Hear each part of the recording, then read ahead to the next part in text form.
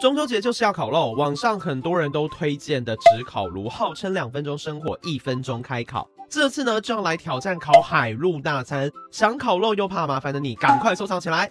来开龙虾，开龙虾喽！这个火力，你要把它烤海鲜烤到很熟，我其实是有点担心啦。开开包装，按照说明书把烤炉架好，炭点燃，等两分钟，真的就可以开始烤。最麻烦的前置作业，几秒就已经完成了。这个方便程度我先给过，立马放上烤肉串来试试水温。它这样可以放蛮多的耶，一二三四五六七八九十十一十二十三十四十四十五十六，可以一次可以烤十六只，真的是很方便，火力不会太大，不会有一般烤肉火旺到发炉的问题，算是中小火慢烤的方式，让肉串慢慢烤熟。但如果你真的很饿，真的不建议使用，因为肉真的是比较慢熟。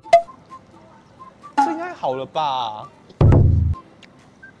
嗯，这牛肉很很 juicy。这样烤是一种控控制火候，它反而是一个撸串神器。哎，它虽然它没有办法让你烤得很快，但某个程度它已经帮你调控好火力了。可以一秒变撸串达人。接下来就是今晚的重头戏——烤海鲜大餐。我们准备了龙虾、生蚝、炒虾、玉米笋，直接放上去。海鲜呢，我是真的比较担心烤不熟呢，顶多不吃，就怕是跟你装熟，吃完跑厕所。竟然成功了！好，我来吃一个大吃一口。水不会过干，还有海味的鲜甜。我先来喝一口汤。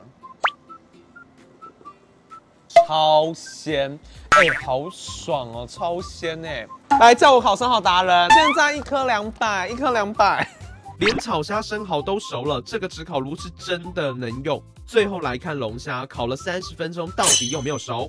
这好像有熟哎，来开龙虾，开龙虾喽！天哪，真的烤得熟哎！我完全小看这个纸烤炉，而且剥完壳目测熟度还蛮刚好的。我必须说，我觉得这个纸烤炉除了是烤撸串神器之外，它应该是烤海参神器耶！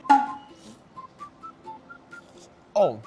它这个海鲜保水度真的很高，每年中秋节都一定会去烤肉，但是从来没有烤海鲜烤这么成功过。龙虾肉真的很鲜美，又肥又多汁，吃起来非常过瘾。想不到连烤龙虾也这么成功。虽然整晚只烤炉的火力啊一直保持在中小火，但是呢稳定持久的火力很适合三五好友聊天聚会，慢慢吃慢慢烤，只要烤得够久，连龙虾都会熟。这次中秋只烤炉实测真的大成功。还想看我开箱什么产品？欢迎留言告诉我。我是上恩上麒麟，我们下次影片见，拜拜。